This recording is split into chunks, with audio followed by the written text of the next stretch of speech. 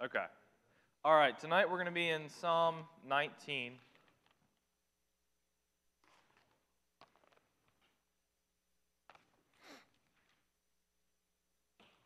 Psalm 19.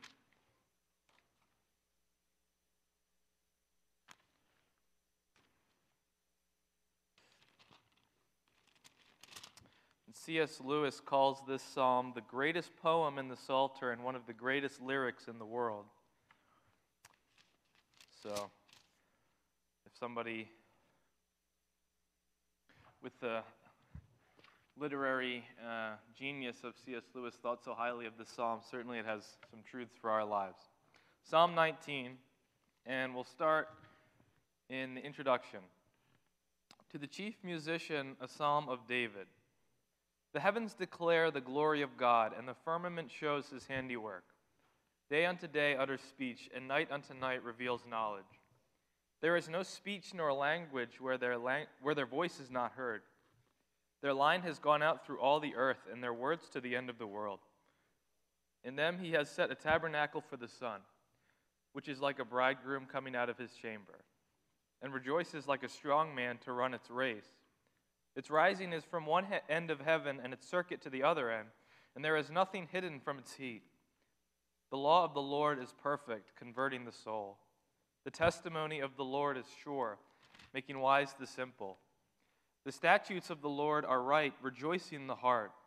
The commandment of the Lord is pure, enlightening the eyes. The fear of the Lord is clean, enduring forever. The judgments of the Lord are true and righteous altogether. More to be desired are they than gold, yea, than much fine gold, sweeter also than honey and the honeycomb. Moreover, by them your servant is warned, and in keeping them there is great reward. Who can understand his errors? Cleanse me from secret faults. Keep back your servant also from pres- presumptuous sin. Let them not have dominion over me. Then I shall be blameless, and I shall be innocent of great transgression. Let the words of my mouth and the meditation of my heart be acceptable in your sight, O Lord, my strength and my Redeemer. Let's pray. Dear Lord, we thank you for this wonderful psalm and all of the truths that it holds truths about your uh, creation, truths about your word, and truths about our own conscience. We pray that tonight you would bless us with knowledge and wisdom from this psalm and that we would go out of here greater, uh, better than when we came in. We ask all these things in Jesus' name. Amen. In this psalm, uh, we're going to look at three different things that point us to God in our lives. And it's actually well structured in this psalm. And uh, some, some commentators have called these the three books. The three books. And, and these three books that are held on this psalm tell us about God, what He is, what, what He is like, uh, what He wants from us, and how we line up and, and follow His law. And the titles of these three books are as follows Creation, Revelation, and Compunction. Now, I, I use those three words initially because they rhyme and they sound good, and maybe they'll help you remember. But let me elaborate on those a little bit, because maybe they're not the most specifically accurate titles. When I say creation being the first book, I'm talking about general revelation. I'm talking about the created world, what we can know about God from, from what we learn uh, about the world as we can see it. Uh, the, the, the animals and the trees and the plants and, and the beautiful landscapes, the, the universe and the stars, all that is, is falling under creation. When I say revelation, I'm specifically talking about uh, uh, special revelation, and, and especially as we find it in the scriptures here, the law of the Lord. And when I say compunction, I mean the, the human conscience, specifically the regenerate conscience, as opposed to the unregenerate conscience. And so those are the three books that we're going to look at tonight. We, we can see the first one, creation, in verses 1 through 6, revelation in 7 through 11, and compunction in 12 through 14. And again, when we look at these three books properly, they tell us about God and, and what He wants from us and how we can uh, line up with His law. And as we go down through these uh, different themes in the book, we're going to see how each one draws us closer to God, and, and properly using each one will draw us closer to the Lord. So, first of all, we're going to we're to look at creation as David talks about it here in Psalm 19. Let's read uh, verse 1 again. The heavens declare the glory of God, and the firmament shows his handiwork. And uh, we can know from the created order, the first thing that we know when we look at creation is that there is a God. That God exists. I'm sure you've probably heard. Um, I'm not sure exactly what it's called, but the, the divine watchmaker uh, analogy. You, you find a watch on the street and you look at it and you say, somebody must have made this. Somebody intelligent had to have put this together, put all the pieces of this together. This couldn't have just happened by itself. And, and so when we look at the created order, when we look at, at all the different symbiotic relationships in, in the world, how all these different animals depend, and, and plants depend on each other to survive, we know that this didn't just happen. Somebody had to put all of this together. Some master planner had to plan this universe out. Uh, Aristotle, who certainly wasn't a Christian, uh, said, Should a man live underground and afterwards be brought up into the open day and see the several glories of the heaven and earth, he would immediately pronounce them the works of such a being as we define God to be.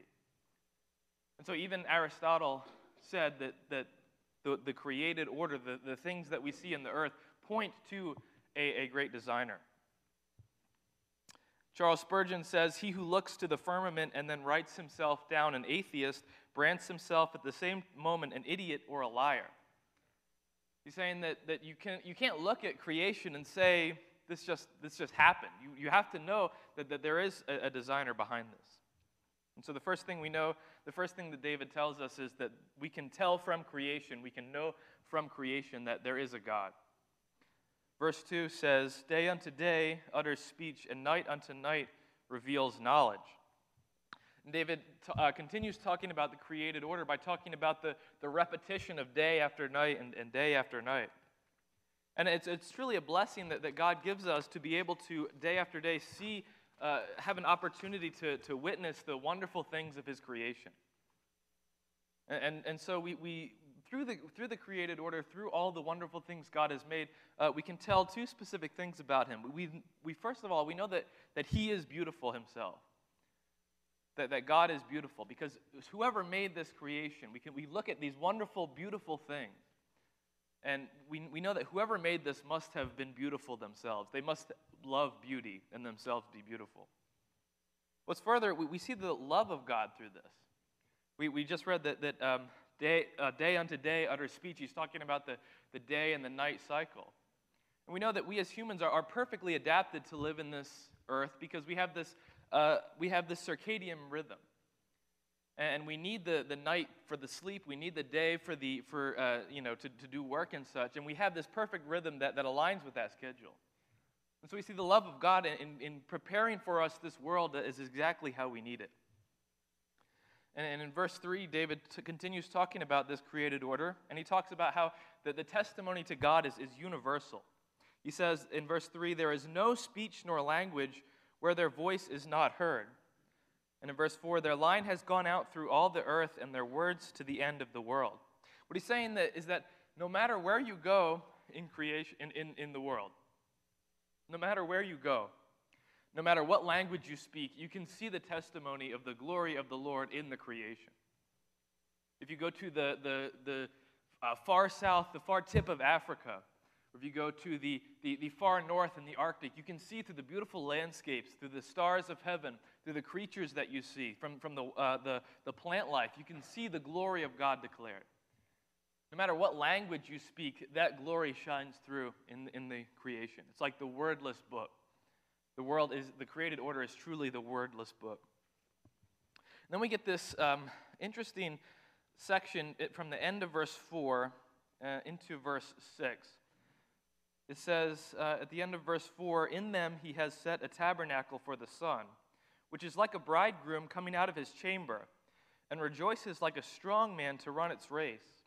Its rising is from one end of heaven and its circuit to the other end, and there is nothing hidden from its heat. And so, not, not only has God designed all these things, but He's designed them in, in a joyful way.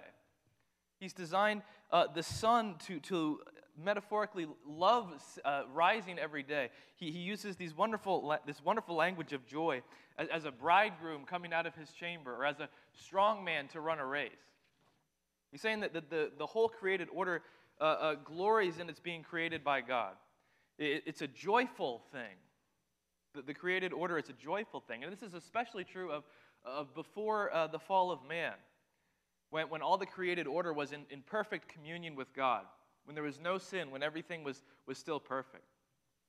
And even though uh, the fall did happen, and even though, uh, as we learn in um, Romans 8, that the creation groans under sin, we still see these, these, these imprints of the original beauty, beauty of creation in the stars and in, in all the things that are around us. And uh, the, uh, just a quick note on, on verse 6. Let's read that again. It's, its rising is from one end of heaven, and its circuit to the other end, and there is nothing hidden from its heat. Some commentators have argued that this passage is just a note in passing.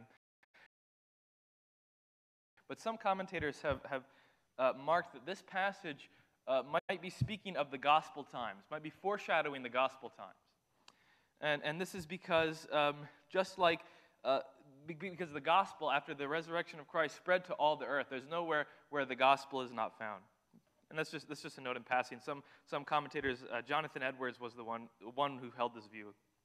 And they back up this claim by, uh, by saying, referencing uh, Romans 10 18, where, where uh, Paul cites this verse in speaking specifically of the gospel. And so they say they, they believe this has a deeper meaning to that.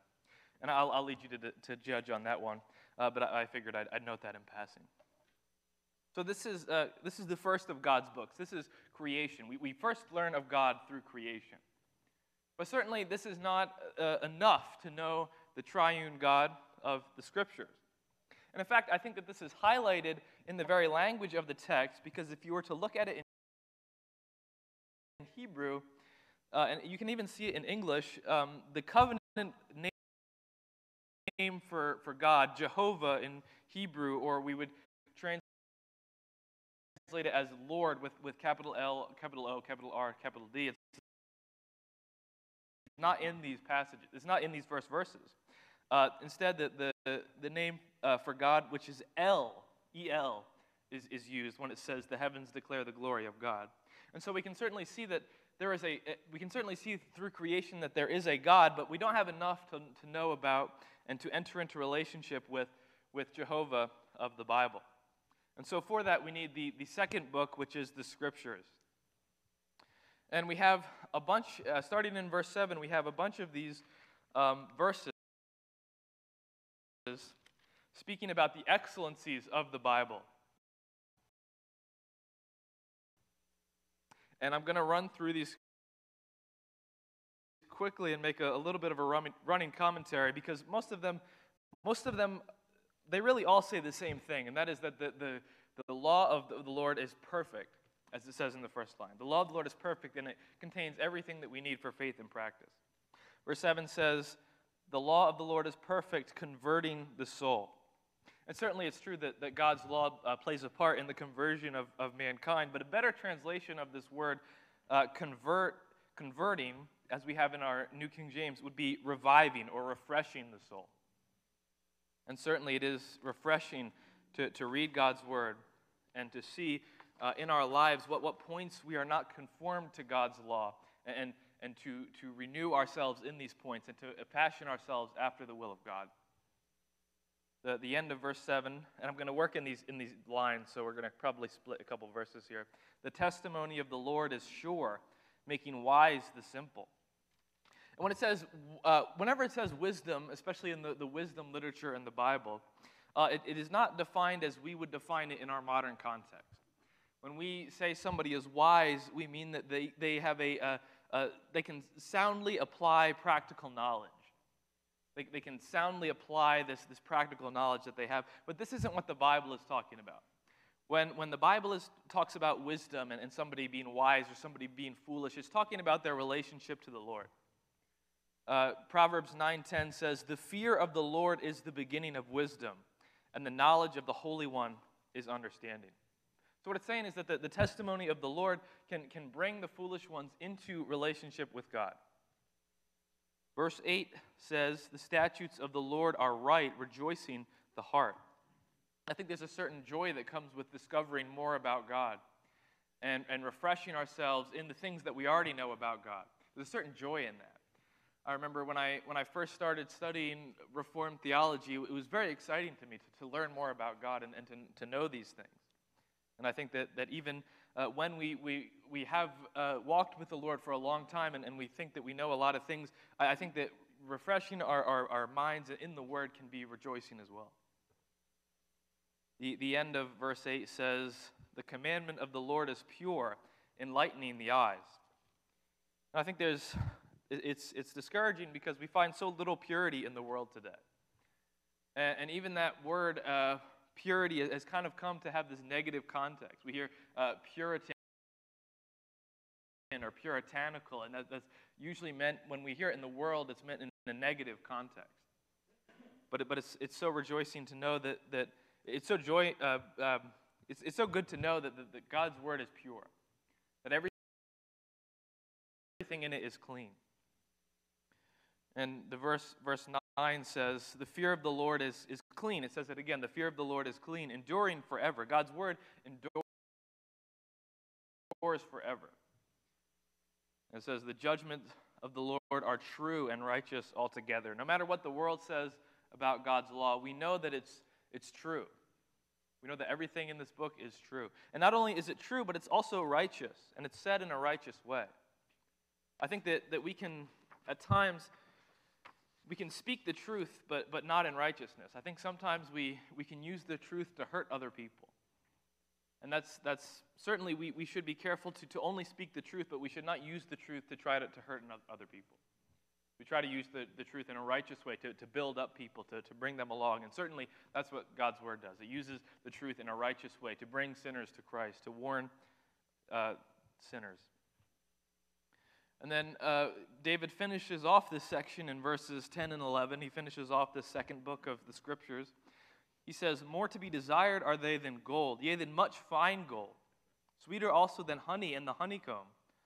Moreover, by them your servant is warned, and in keeping them there is great reward. I think that a lot of times we uh, take the scriptures for granted. That's because we have such a, a high supply. The, the Bible is so accessible to us nowadays. I, I think that I, I probably have five or six Bibles in my possession. I know that my roommates at least have one, maybe more than that.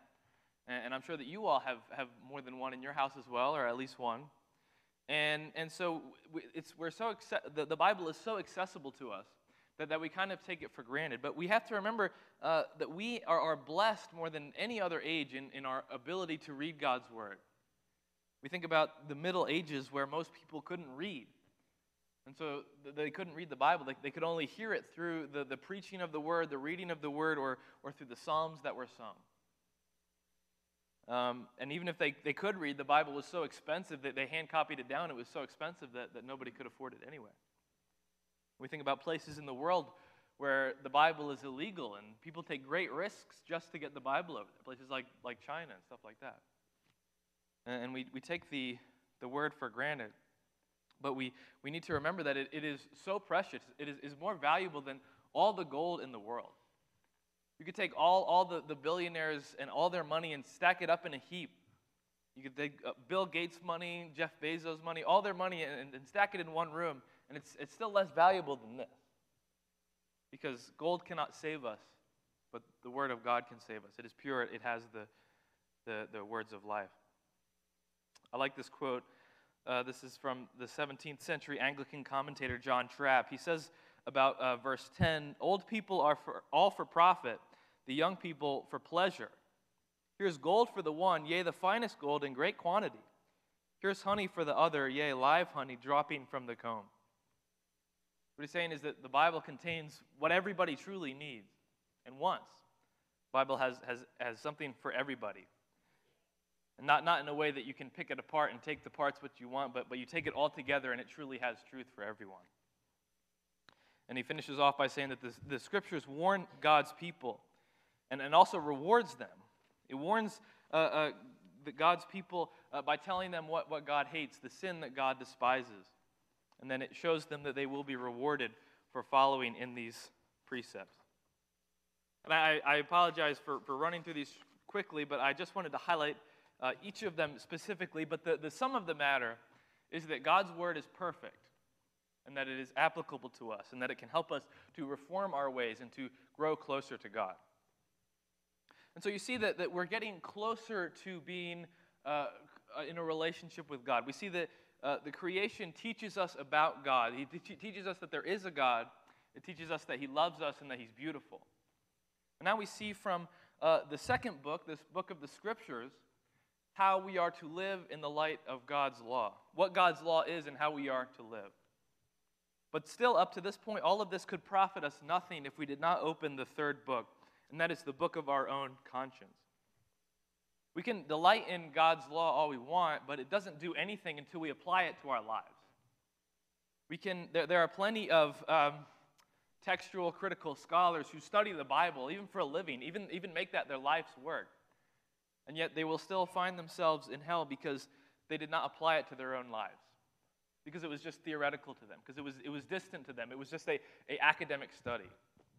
So until we open this third book and apply God's law and, and the precepts we find into it in our, in our conscience, into our conscience, then, then it does not profit us anything. And this is what David does. In verse, starting in verse 12, he, he begins to apply the word of God to himself. He says, Who can understand his errors? Cleanse me from secret faults. And so in the first line, it's undisputed that David is talking about uh, the, the, fact that, that we have so much sin in our life that sometimes we don't even realize all of it. There are ways in which we fall and ways in which we fail that we don't even, we don't even are not even aware to us. We don't even see them. And so David is asking uh, God to, to show these things to him and to, to cleanse them, uh, cleanse him from them as well.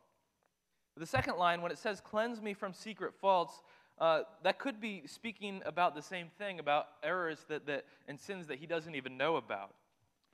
Um, and uh, interestingly enough, this was a verse uh, that was heavily used by the reformers when they were uh, debating the, the Catholic, uh, the Roman Catholic Church and their uh, um, audible confession.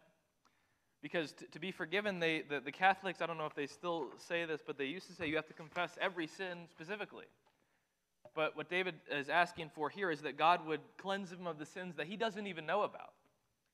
And certainly that would go against the, the Roman Catholic notion of, of uh, repentance. That's, that's very interesting um, that this was a verse heavily used by the reformers. But, but there's a second understanding um, of what secret faults are. There are some commentators who, who differ on this. And, and the second opinion is that secret faults are sins that we commit behind closed doors, sins that are uh, hidden to everybody except for us. And um, I think that these types of sins are certainly much more dangerous to us. Because um, I should have written this one down, but there's one commentator who says when we commit these types of sins, we don't uh, experience the benefit of open sinning. If that's, that sounds weird, but what he's saying is that when we sin openly, we, we have pastors, we have brothers in Christ who can correct us, who can say, hey, I think that you're, you're, you're doing this wrong here. And we can see this sin and, and rejoice in it, that, that, that we repented from it. But when we, we commit sin behind closed doors, uh, nobody sees it. And so, unless the, the Holy Spirit convicts us to a point where we get rid of the sin in our lives, we, we are going to stick with it. And often these, these sins uh, make us into hypocrites because we, we, we perceive ourselves in such a way that if, if nobody else knows that I'm doing this, then I'm not really doing it. And we kind of clear ourselves in that way. Nobody knows that I'm doing this. So, so in the eyes of the world, I'm, I'm, I'm free from this sin. And so it becomes easier to judge other people who, who commit this sin. We know that our, our judge is God, not other people. So David repents of, of secret sins, but next he, he also repents of, of uh, presumptuous sins. Verse 13. He says, Keep back your servant also from presumptuous sins. Let them not have dominion over me. Then I shall be blameless, and I shall be innocent of great transgression. There's, there's some who say there are three types of sin. There are secret sins, which, which we don't know about, which is the first definition that I gave you of, of secret sins, sins that we don't even know about. sins of, um, let me find it here, sins of infirmity. And, and those, they define those as those that arise from surprise or snares of the flesh. And usually they use the example of, of Peter denying Christ. He was, he was afraid of, of dying. He was, he, was kind of, he was kind of trapped. It was his infirmity that, that caused him to sin. Certainly, he was, he was guilty of this sin. But then the third one is, is presumptuous sin. And these are sins that, that we full well know these are evil. We don't have any, I don't want to say excuse, but we don't have any excuse to commit them, and yet we commit them anyway. And we need to be careful to nip these kind of sins in the bud. But the, the most common, I was, I was reading through Spurgeon's commentary, and he has uh, a bunch of, of sayings about, he has a bunch of, uh, a compilation of commentaries on each single verse, and, and the overwhelming majority of, of the examples used for presumptuous sin was David and Bathsheba. Because David knew exactly what God's law said. He knew that, that what God said about adultery, he knew what God said about murder, and yet he did these things anyway, full well, knowing that they were wrong. And we need to be careful to, to nip these kind of sins in the bud as, as soon as they rear their head. Because David didn't just wake up one day and say, I'm going to commit adultery and commit murder. No, he started with the little sin of, of uh, taking a, a, presumptuous look at, at, Uriah's wife. And that built up to adultery and, and finally to murdering one of his friends. And so we need to make sure that we, that we kill these sins as soon as we see them. One commentator, Ezekiel Hopkins, says A sin that at first arises in the soul, but as a small mist and is scarcely discernible, if it be not scattered by the breath of prayer, it will at length overspread the whole life and become most tempestuous and raging. We don't know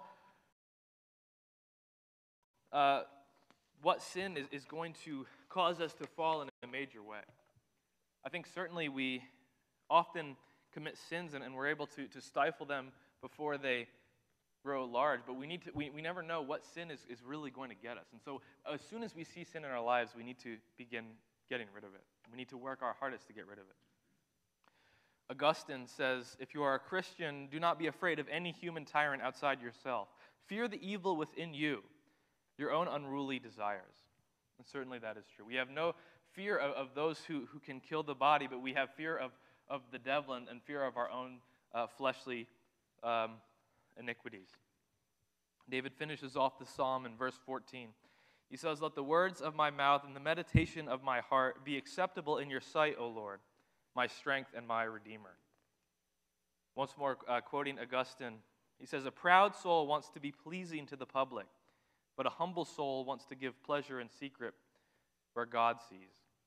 So, what David is, is, is asking here is that not only would, would God uh, find his deeds acceptable, not only would God cleanse him from sin so that he is doing good things with his, with his deeds, but also that the meditation of his heart, his very thoughts and attitudes would be acceptable to God.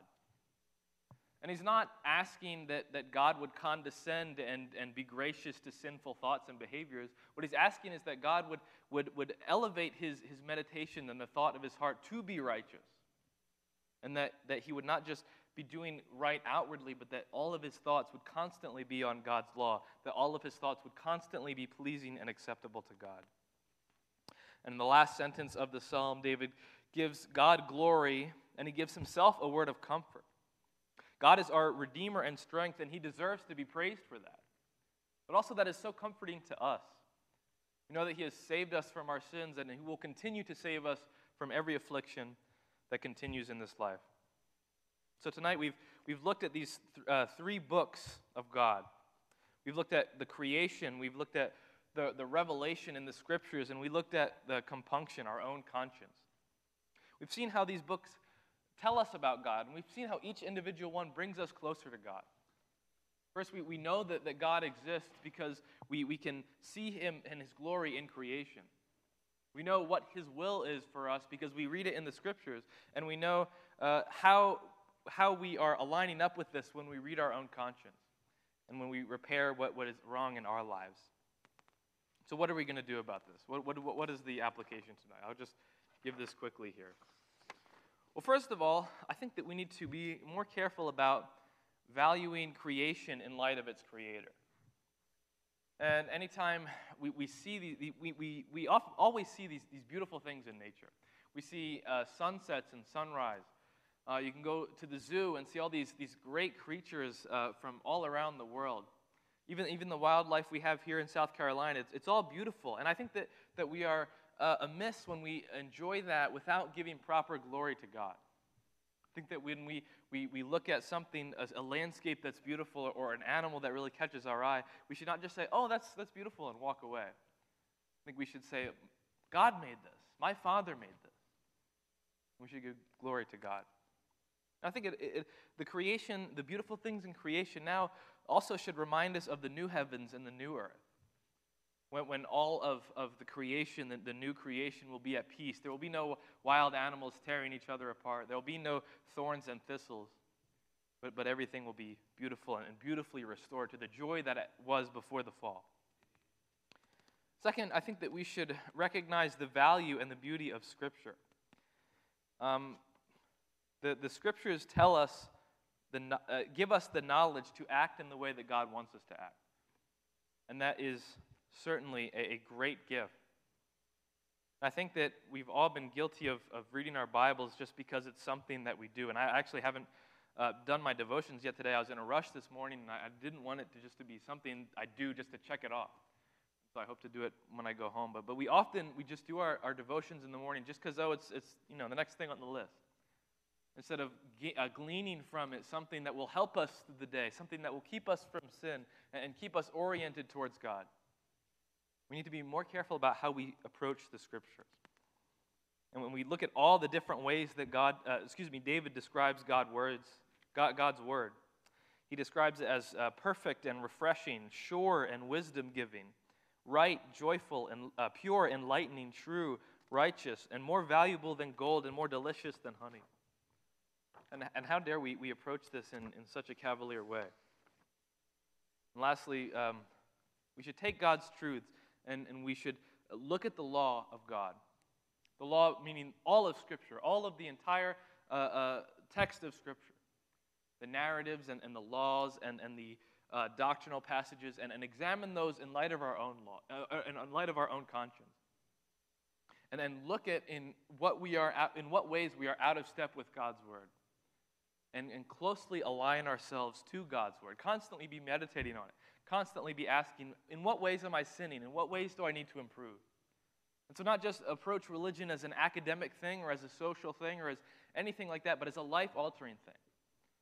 Uh, when we read the, the Word of God and come to church every week, our lives should certainly be changed by it. And as, as we walk with the Lord for a long time, perhaps that's not as radical as it was when we first got saved, when we first started walking with Christ, but certainly uh, as we continue walking in our lives, we should improve uh, uh, in an upward slant through, through our entire lives. So it's not enough to read God's Word. We must simply, we must also apply it to ourselves. So I think it's a blessing that, that God has given us so many ways that we can see His glory, so many ways that we can be closer to Him. And, and I hope that, that this has been a help to you. And uh, it's certainly a lovely psalm. And uh, yeah, I think that's all I have. So let's pray. Lord, we thank you for this psalm. We thank you so much for the three books of creation, revelation, and compunction. How each one brings us closer to you when used properly. We pray that you would help us to use these things properly. We pray that you would help us to value your creation and to, to glory in, in your glory in light of creation. We pray that we would uh, approach the scriptures in a more serious way. That we would not just do it as, we would not just complete our devotions and go to church and hear the scriptures as, as something that we just do because it's, it's a pattern in our, in our life, but something that, that we do because we want to hear your truth from it. We pray that we would also apply it to our lives. We would look at our conscience and, and search our souls and see in what ways we are out of step with God's word. And even what, step, uh, what ways we are in step with God's word and improve those. Strengthen what is still there. I pray that everyone here tonight would, would have gotten something out of this, that they'd be encouraged in their personal walks. And I pray that you bless this time of prayer to come. In Jesus' name, amen. Does anyone need a prayer sheet?